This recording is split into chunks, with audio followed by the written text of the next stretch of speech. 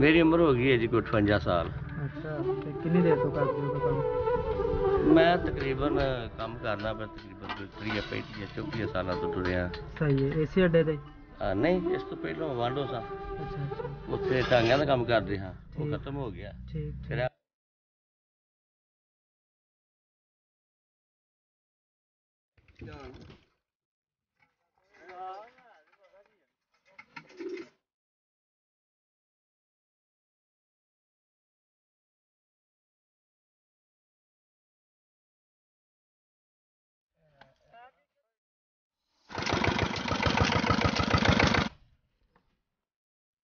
Motorcycle ਨੂੰ?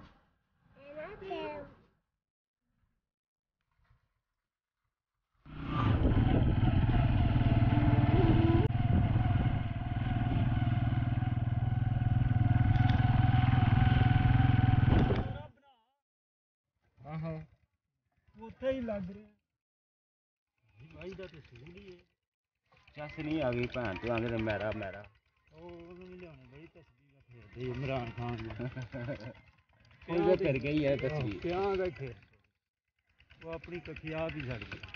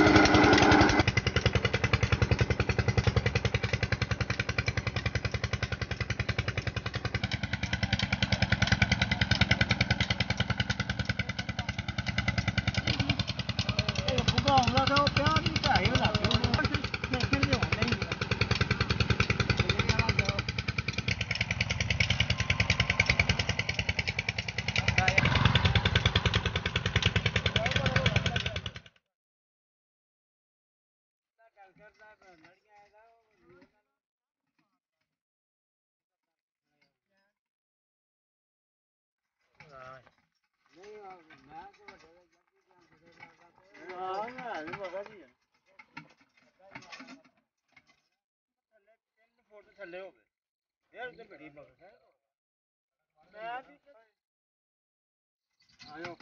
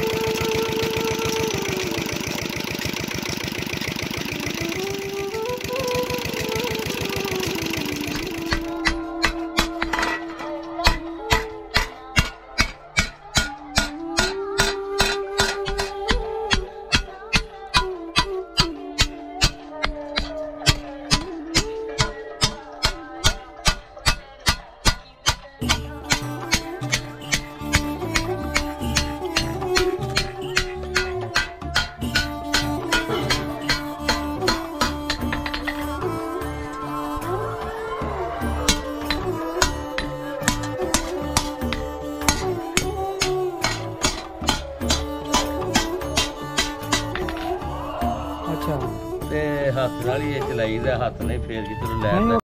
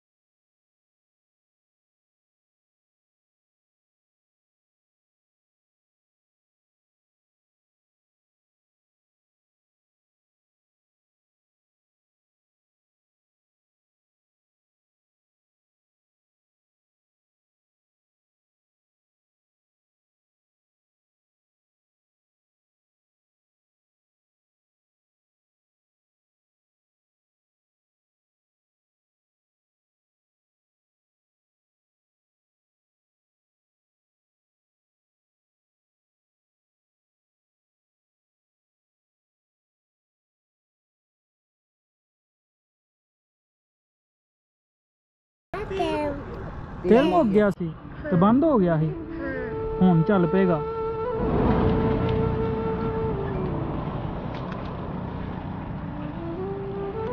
ਇੱਥੋਂ ਹੱਥ